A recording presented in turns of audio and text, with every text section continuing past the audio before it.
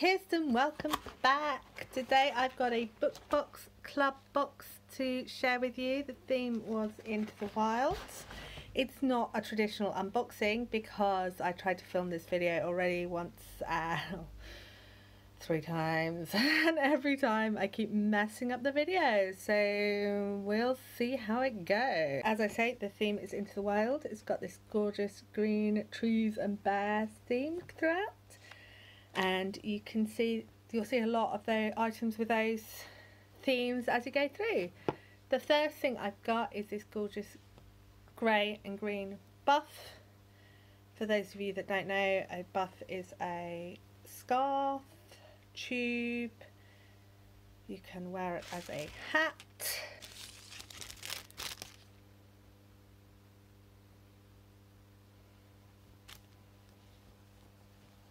For example. Let me show you.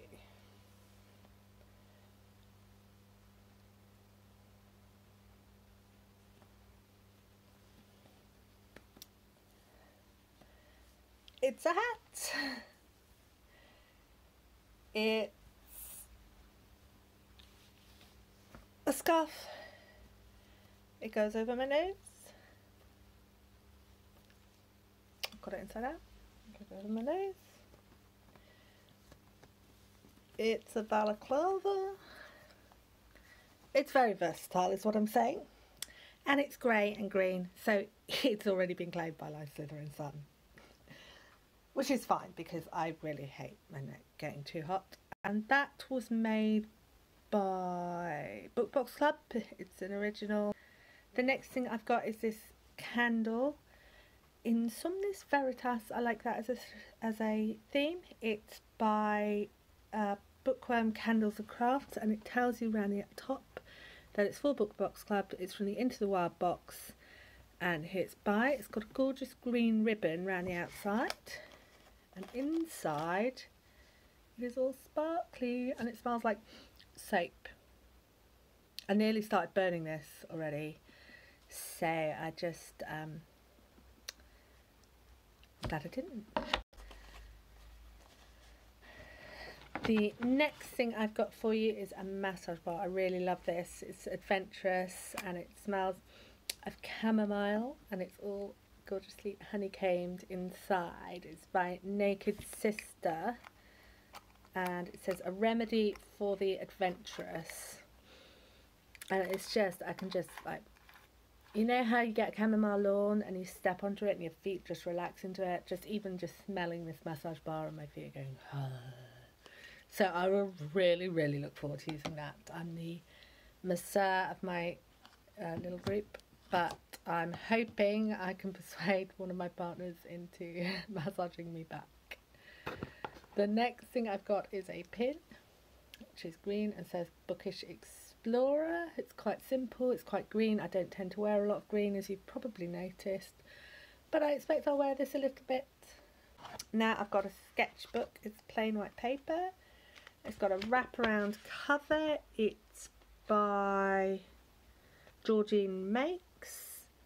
And isn't that gorgeous? It's got a ship, a pirate ship, and some catapults and leaves and flowers and pine leaves and magic trails.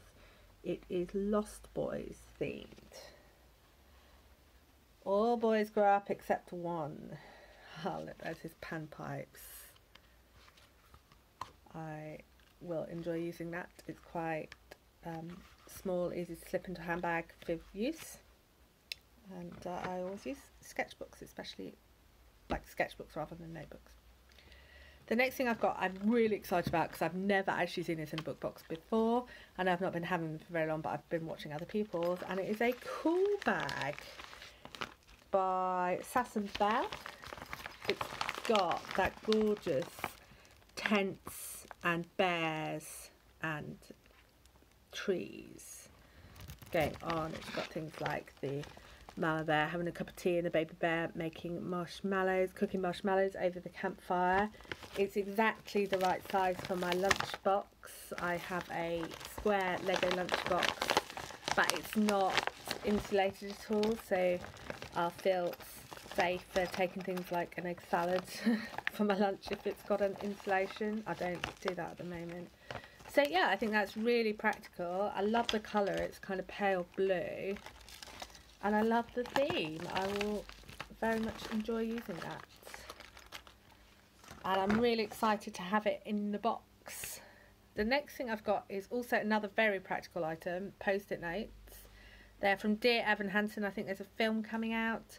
I haven't read it, but it says today is going to be an amazing day and here's why. And it's got this gorgeous tree and grass theme and it's all blue, which it could so easily have been green like the rest of the box, but it's blue and I really like that. Yep, that's everything.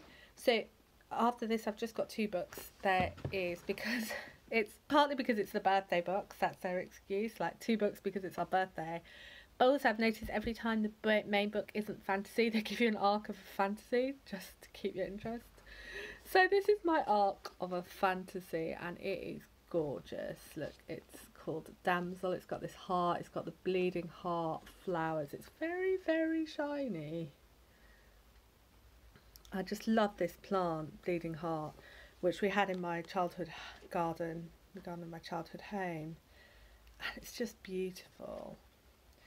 And this is a book about a la uh, lady who's been trapped by a dragon and the prince who comes to free her when she wakes up she doesn't remember anything about what happened before and she just has to trust the prince.